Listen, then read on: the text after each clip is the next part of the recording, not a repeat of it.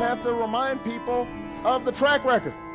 If you want someone with a lifelong track record. Now, this is Senator Clinton.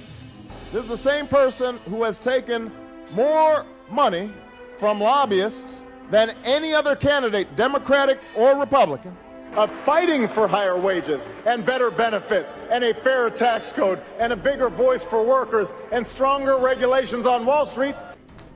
This is the same person who took money from financial folks on Wall Street and then voted for a bankruptcy bill that makes it harder for folks right here in Pennsylvania to get a fair shake.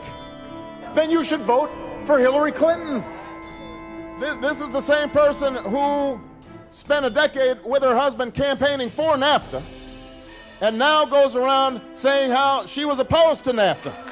She's got specific ideas to invest in new jobs, to help workers share in their company's profits. This is the same person who says she's voting for the Colombia trade deal.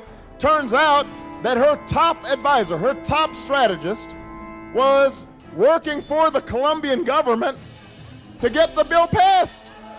There has never been a man or a woman, not me, not Bill, nobody, more qualified than Hillary Clinton to serve as President of the United States of America.